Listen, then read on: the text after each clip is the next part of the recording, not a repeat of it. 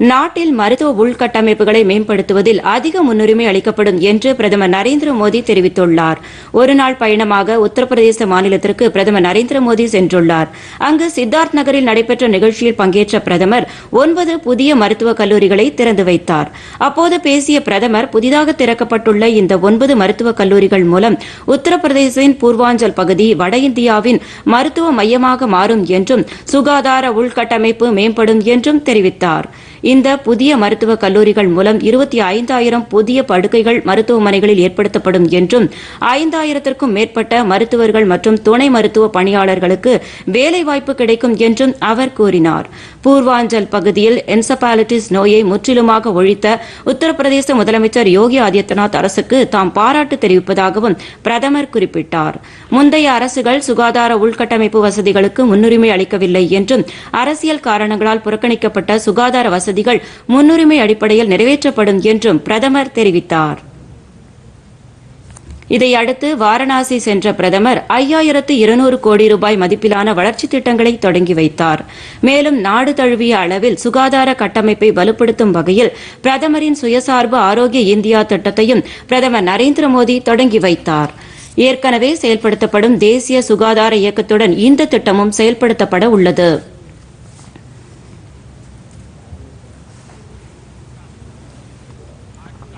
की पवित्र धरती से लॉन्च हो रहा है। और दूसरा, काशी और पूर्वांचल के विकास के हज़ारों करोड़ के कार्यक्रमों का लोकार्पण। और एक प्रकार से मैं कहूँ कि पहले वाला कार्यक्रम और यहाँ का कार्यक्रम सब मिला के मैं कहूँ तो आज करीब करीब पचहत्तर हज़ार करोड़ रुपए के कामों का आज यहाँ निर्णय या लोकार्पण हो रहा है। काशी से शुरू होने जा रही इस योजनाओं में महादेव का आशीर्वाद है। और जहाँ महादेव का आशीर्वाद है, वहाँ तो कल्याण ही कल्याण है। सफलता ही सफलता है। और जब महादेव के आशीर्वाद होते हैं तो कष्टों से तो मुक्ति भी बहुत स्वाभाविक है। साथियों, आज यूपी सहित पूरे देश के हेल्थ इंफ्रास्ट्रक्चर को ताकत देने के लिए, भविष्य में महामारियों से बचाव के लिए हमारी तैयारी उच्च स्तर की हो।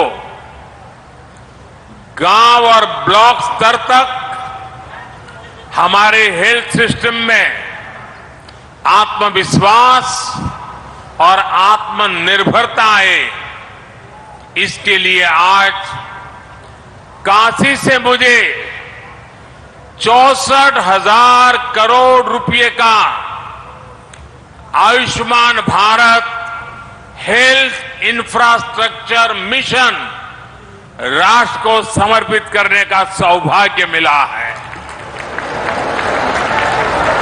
आज काशी के इंफ्रास्ट्रक्चर से जुड़े करीब पाँच हज़ार करोड़ रुपए के प्रोजेक्ट्स का भी लोकार्पण अभी किया गया है। इसमें सड़कों से लेकर घाटों की सुंदरता,